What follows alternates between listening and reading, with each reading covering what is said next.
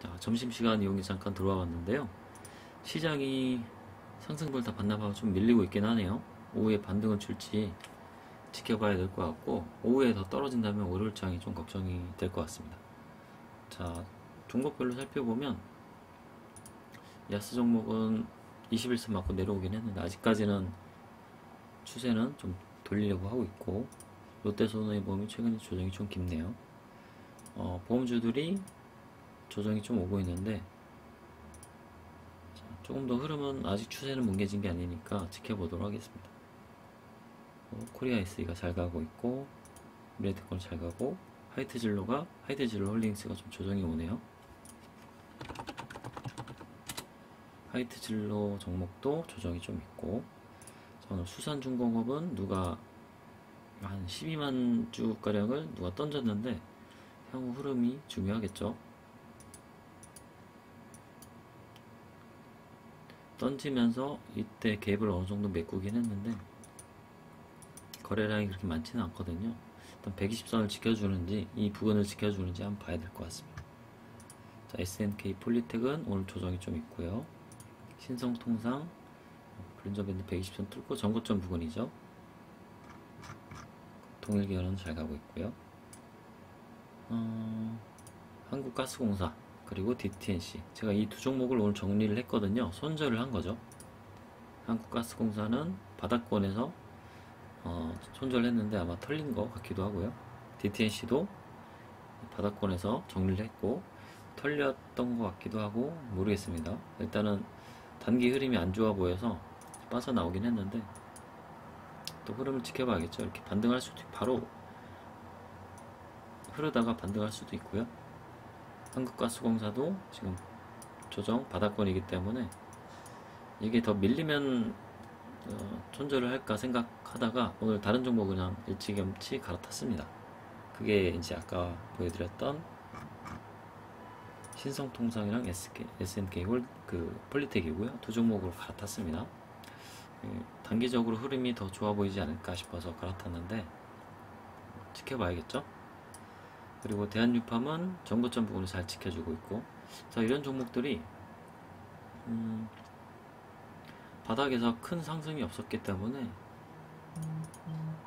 바닥권이죠. 바닥권에서 만원대에서 12,000원이면 그냥 바닥권이라고 봐야 되거든요. 이 고점들 연결하더라도 14,000원대. 자, 주봉으로 보면은 최근에 2019년대부터 요때 폭락이 나왔다가 상승을 꾀하다가 코로나 때 폭락 다시 이렇게 이어지고 있는데 요때 하락이 좀 마음에 걸리긴 하는데요. 계단식 이렇게 하락했기 때문에 마음이 걸리긴 하는데 어, 이 추세를 일단은 꺾어놨기 때문에 이 부분에서는 잡아봐도 되지 않을까 싶기도 하고요. 지금 가격대도 뭐 큰 부담 없는 가격대인 것 같습니다. 대한유팜 이 가격대 장기 240선 120선 부분에 있죠. 이 가격대 저는 12,000원 초반대는 괜찮을 것 같습니다. 오성 첨단 소재 큰 흐름은 없고 살짝 밀리고 있고 MSC 살짝 조정이 들어왔고요. 나머지 BJF 리테일 조정이 들어왔네요. 자, 어제도 이제 이 가격대 말씀을 드렸는데 지금은 16만 6천 원대까지는 이 구간은 어, 매집해도 되지 않을까 싶습니다.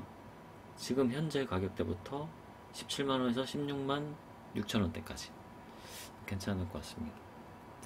성창오토텍 잘 버티고 있고 대한금속 일부 조정 나왔고 기업은행 단기 많이 올라서 조정이 좀 나왔네요.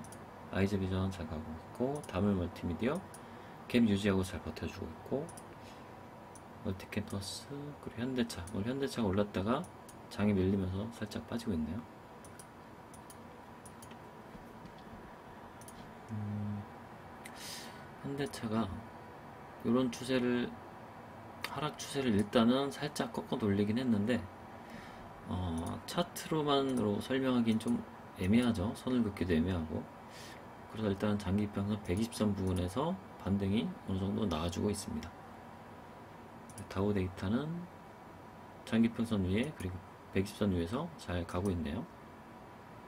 다우 데이터를 들어갈까 했는데 늦었네요. 음, 오후에 지수가 조금 더 반등을 해- 해주고 시가를 좀 회복을 해줬으면 좋겠는데 조금 더 지켜보도록 하겠습니다. 그러면 어, 주말에 그리고 다음 주 초에 다시 뵙도록 할게요. 어, 그러면 향후 이 종목들의 흐름은 조금 더 지켜보도록 하겠습니다. 감사합니다.